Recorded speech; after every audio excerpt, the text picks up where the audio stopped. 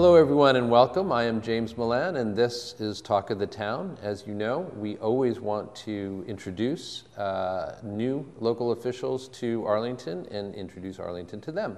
Today, we are with Ken Pruitt, who is the Energy and Project Manager in town. Ken, thanks very much for being here. James, thanks for having me. We appreciate your taking the time. Um, we always like to start off um, these kinds of interviews with asking, okay, how did you get here? Where, where did you come from? I'm particularly interested to know, uh, in this case, um, at least in part, because energy and project manager is not a title that I'm already familiar with. Is that a, just before we get into your own background, is, is, is it a new position? Uh, it's a, a new-ish position in town. Um, I'm not sure when the first energy and project manager, I, I, the first one was Ruthy Bennett, who's actually now my boss. As she's now director of facilities. And I believe she was the first energy and project manager. Um, I think it was since 2010 when the town became a green community. I think that it was since then that the position was created. Yeah, actually, I can I can help out a little bit with that because I think it was uh, I know it was 2012, 2013 that she shifted from being the recycling coordinator to the energy manager for town. Right. But uh, again, the energy and project manager just an interesting interesting yes. title. Right. Yeah, and that was so you know Ruthy Bennett, you know, as facilities director is no longer doing that position and so when they hired me, they wanted me to have um, you know, an energy focus as energy manager and sort of similar role to the previous energy managers.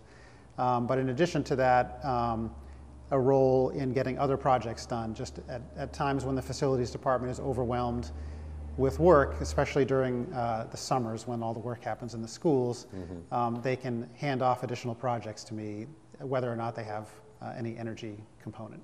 Okay, so clearly it's a title that reflects the versatility that you bring to the job and That's also right. what you're going to be asked to do, and we'll go into that in more detail in a little bit. Sure. Um, but let's get back to, sorry, my original question, which is, okay, what did you, what have you been doing um, professionally up until now, and you know, how did you decide to take this job, et cetera? Well, you know, I've been, I've been um, an environmentalist um, since I was in high school. I've had a career going through you know, graduate school and a number of jobs, all in the environmental field.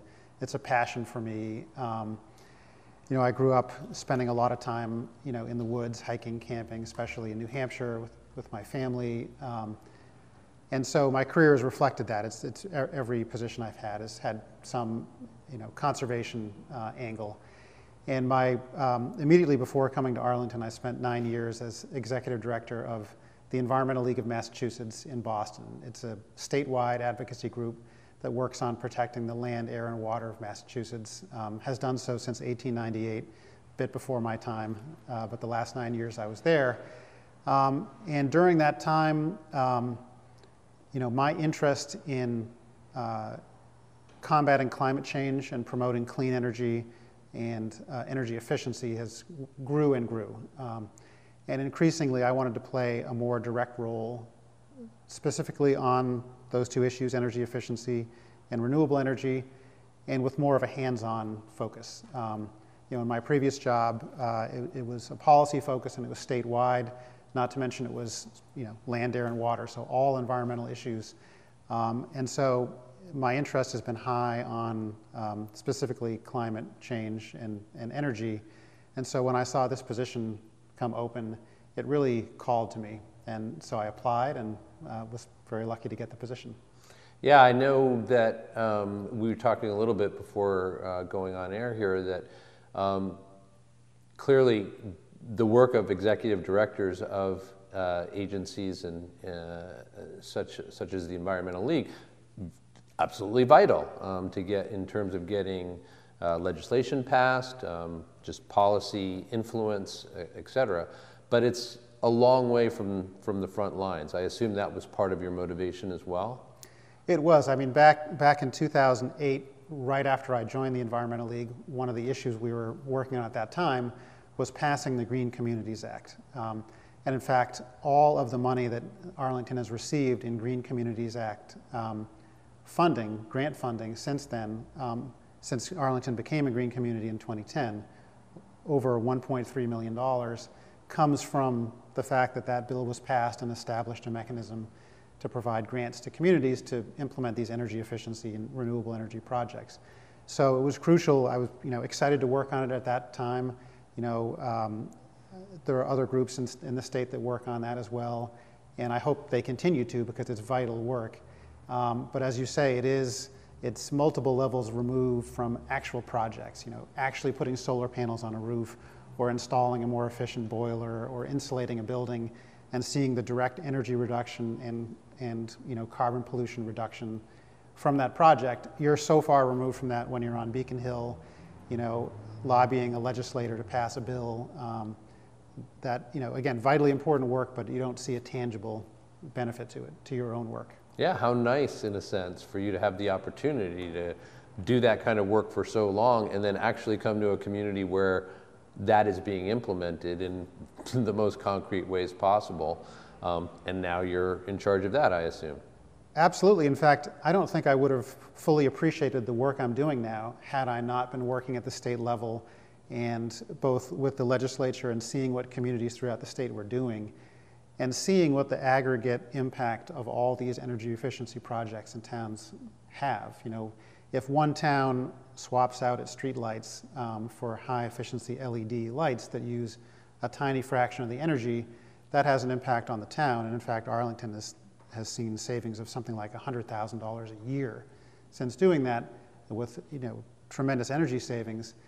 But when you multiply that by the entire state, when you're in the position where you can see that happening, you, you realize just how important all these seemingly small incremental changes are in each town. It all adds up. And Massachusetts is, in fact, on track to reducing its greenhouse gas emissions by 25% by 2020, which was in another law that um, my prior organization helped pass, the Global Warming Solutions Act. And it's because of all these incremental changes you know, across, across the state. Yeah, I have to say that um, so far you've mentioned a couple of figures in the last few minutes, and those accord very closely, um, not surprisingly, with conversations we've had with Town Manager Adam Chapdelaine about yeah. the Green Grant money and uh, the use that has been made of it so far in town, and uh, $100,000 of savings with the street lights, for instance, and uh, yeah. about the, the, the, the, sum total up to this point of money that we have been working with or granted by the state. Um, I'm wondering, I, I'm I, I definitely understand that your, part of your role is going to be overseeing the projects that are, um, that are funded as part of the Green Grant program, um, as well as other things I know. Um, but I'm curious, will you also be looking forward here um, are you going to be one of the people who's going to be making decisions or making the evaluations of what kinds of projects uh, we're going to be um, applying for future grants in order to in, in order to fund or help fund?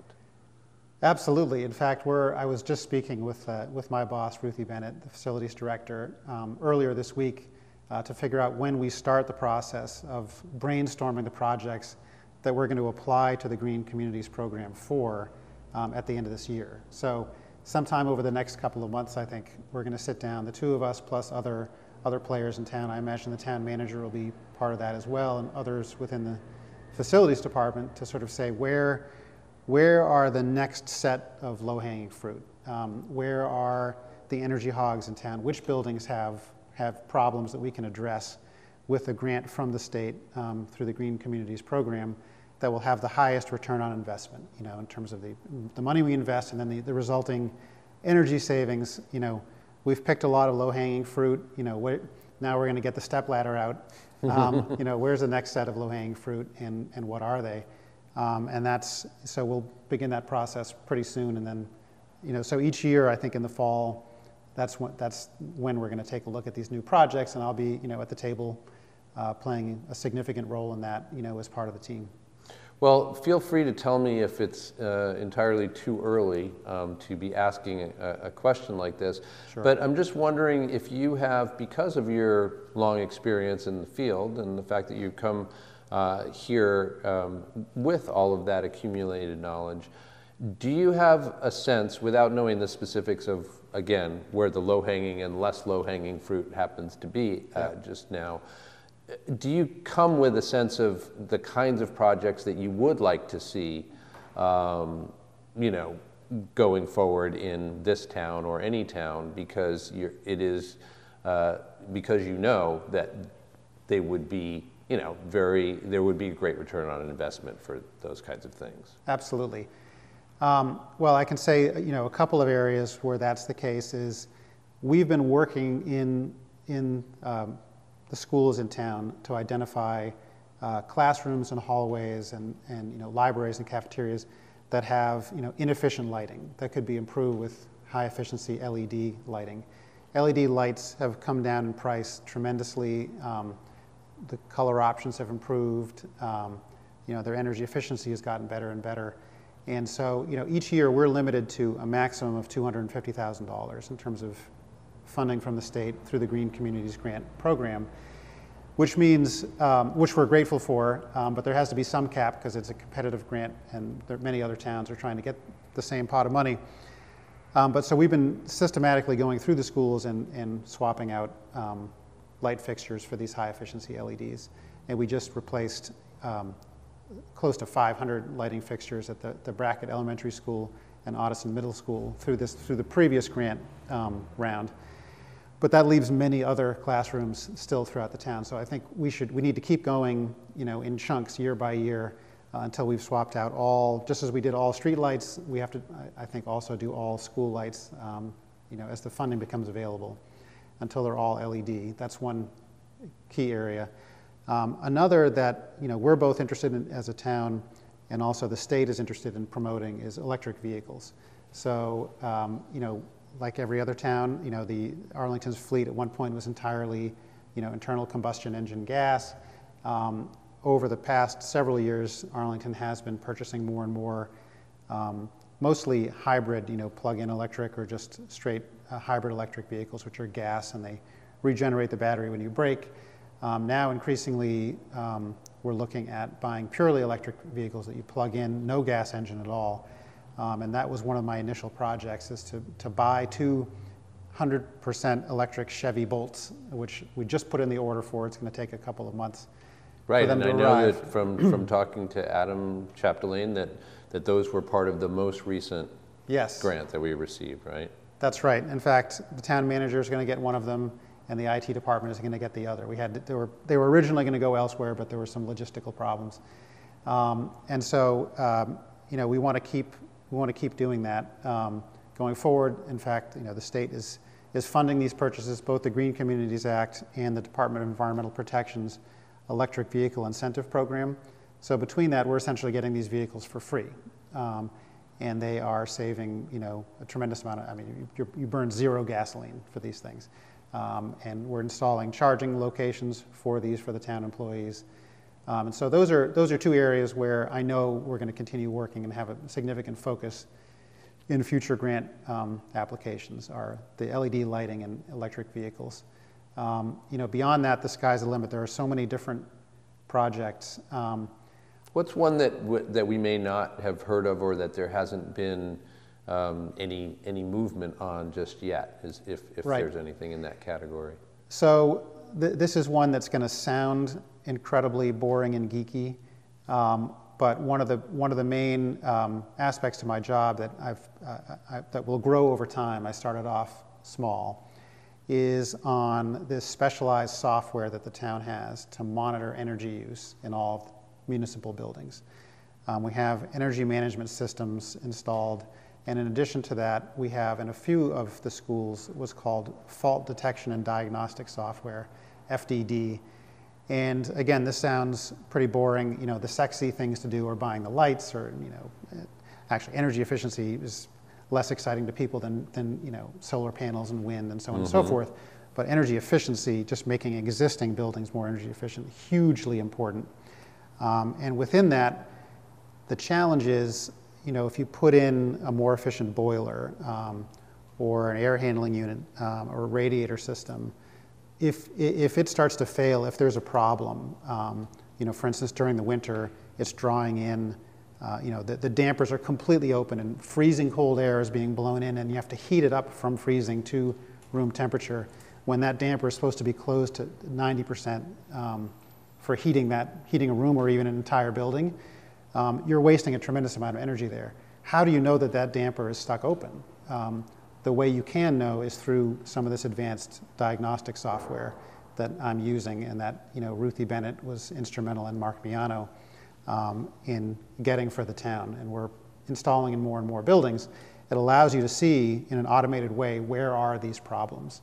So then you can send out um, your HVAC you know, specialists to fix them in real time, not a year or two years or 20 years later when you realize this thing has been stuck open the entire time, which, which happens. Yeah. Um, I, I mean, excuse the interruption, but I, I have to, to say, you know, from my own perspective, yeah, it sounds boring or nobody, you know, is going to be thinking of that as sexy, but my goodness, any homeowner um, can certainly appreciate the fact that anything that would uh, enable you to uh, make and then maintain in a, a, greater efficiency in your home is absolutely going to be something you're interested in, whether you understand the way it works or not, right. whether whether you want to spend a whole lot of time thinking about it or not, you definitely want it going on. Absolutely. And in fact, some of, some of the equipment that we've purchased through Green Community Act funding, um, some of the you know, HVAC equipment, the heating, ventilation, and air conditioning equipment, um, you know, if, if there's some kind of uh, problem with that equipment and it stops functioning properly, it can actually nullify the whole purpose of the piece of equipment that you purchased. So being able to track whether it's doing what it's supposed to be doing and it's functioning properly can make all the difference between whether you even have this new energy efficient equipment or not. Um, and so having these things set up and automated so it sort of alerts you when there are problems. Um, you know, they also help you sort of pinpoint um, when people are doing things that either they shouldn't be doing, you know, opening, literally, you know, we've all experienced, been places, maybe even in college, where you, people are opening the windows to cool down rooms in the winter because it's you know rooms are overheated or mm-hmm. underheated, um, and so the, you can actually have that be part of the advanced software and tell you where people are taking things. You know, teachers, for example, might be taking matters into their own hands to make a room more comfortable. That's a, clear sign that something needs to be changed, um, so that they don't have to do that. How complicated? How long does it take to roll out something like that because my understanding is that you'd have the software, but then of course you need to place monitors, however many you need, and where, how, wherever you need to place them in order for this all to happen. Absolutely. Um, is that for a single school, for instance? Is that meaning the placement of monitors in every class, in every room in order for the, the system to really work to maximal efficiency or? Yeah, in fact, it, not only do you have, you know, um, you know, temperature meters in rooms and other controls, but you also have to have, you know, it, on individual pieces of equipment, you might have um, wires going to several different components of that machine um, to measure, you know, is the damper open and closed? Um, is the display functioning? Is, uh, is, is, the fan running? Right, trying um, to figure out all the things that could go wrong. Right. Or could be working less efficiently than you want. Right. And then figure out the early de- earliest detection system for each one of those, right? Exactly. Absolutely. What temperature is the, the water flowing through it? I mean, there's a million things you can measure on some of these big complex pieces of machinery. And so you have to connect all of those. And you know, because the software is, is, only as good as the data it's being given. Mm-hmm. You were talking about how the, this whole program is going to be paying dividends over the long term for, for the town. Um, and that reminds me that to ask you, what is your sense and what do you hope people's sense in general is of how much your job is about short-term benefits versus long-term benefits.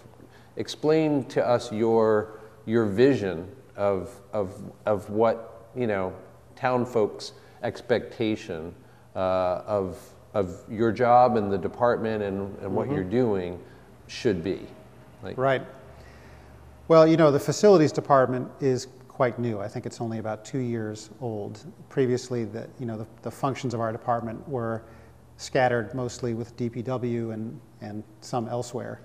And so at, at this stage, especially with our director, Ruthy Bennett, um, you know, the facilities department is a, is a professional department focused on making the most of the town municipal facilities.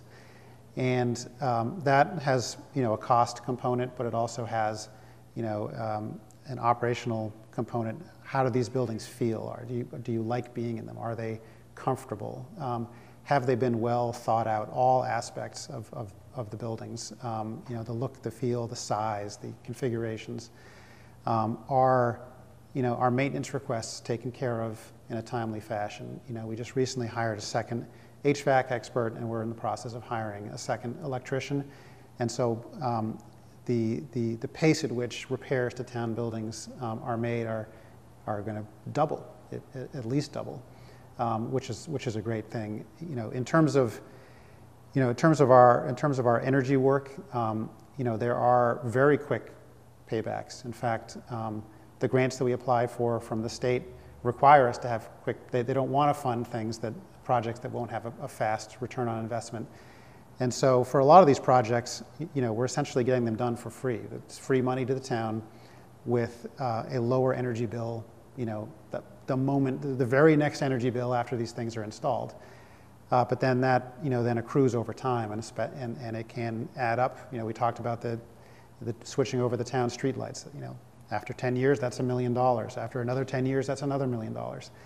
And then, you know, we'll replace, as these things um, wear out, we'll similarly with, replace them with energy efficient, um, you know, products and applications. So, um, you know, I think there's, there's an economic side to this where, you know, um, it gives me satisfaction to know that basically everything I do not just reduces energy, but saves the people of Arlington, you know, the taxpayers of Arlington money. That's it's a nice component to, you know, makes me more comfortable telling people what I do here. um, always good news. It's that. always good news. Um, but then, you know, over time, I think from, again, just limited to the energy component of, of the facilities department, you know, we, um, Arlington really is in the forefront of communities in the state in terms of uh, you know, forward-thinking um, facilities management. Um, not just energy, but including on energy. And we were one of the first towns to adopt the, the Green Communities Act, and we've been in the forefront of energy efficiency since then. And I, I think, you know, I want to see Arlington remain in the lead, um, even as competition grows and more and more communities become green communities. I think um, Arlington uh, not only does a service to the people of Arlington when it does these projects, it then creates a precedent and an example for every other town in the state. And that, you know, so I think, you know, the people of Arlington can feel good that what they're doing is not only benefiting themselves, but it's actually benefiting others around the state who look to what we're doing here. And some, some of what we're doing is cutting edge that almost no one else is doing, like that fault detection and diagnostic software I told you about. Basically, nobody's doing that. But when we show how successful it's going to be here, that will then disseminate elsewhere. It's an interesting um, kind of analogy, as you said, as we alluded to earlier, to that policy work that you were doing. Um, you know, at the state level, is this is a way of of of um, affecting wider change by, in fact, showing as a, a local laboratory um, the benefits right. of a particular approach. And it's a kind of lobbying effort in and of itself, in that you prove the results, other people are going to be much more receptive then to adopting that, that approach or that technology. Yeah, in fact, I think the, the group that I used to work with that, you know, lobbied at the State House is, will take data from towns like Arlington and say, you see, it does work. We told you it would work. It does work. It should get you know, more resources and more, or more legal authorization. Great, like a virtuous cycle. Right. Love that.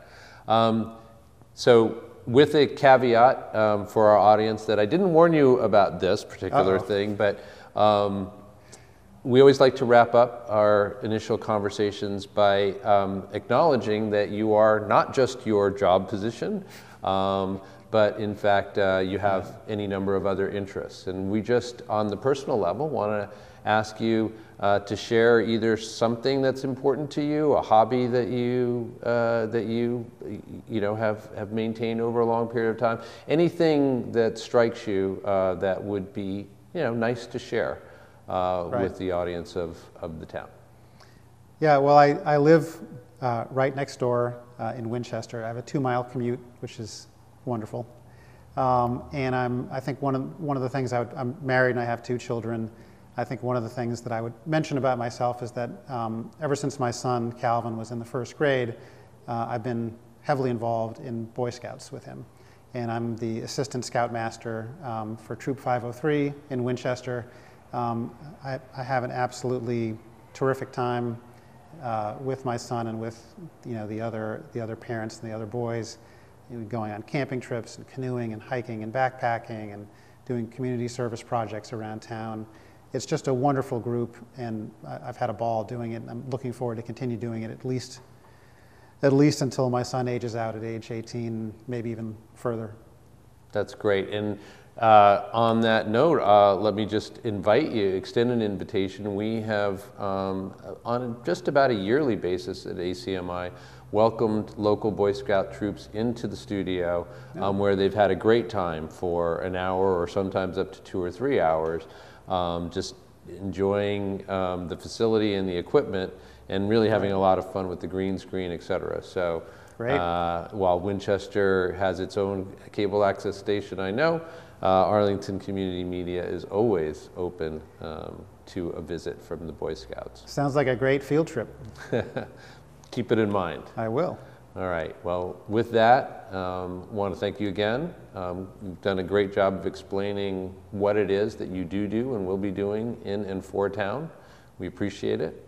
Um, and uh, on behalf of Ken Pruitt, our new energy and project manager, I'm James Milan. Thanks for watching. It's Talk of the Town. We'll see you again soon.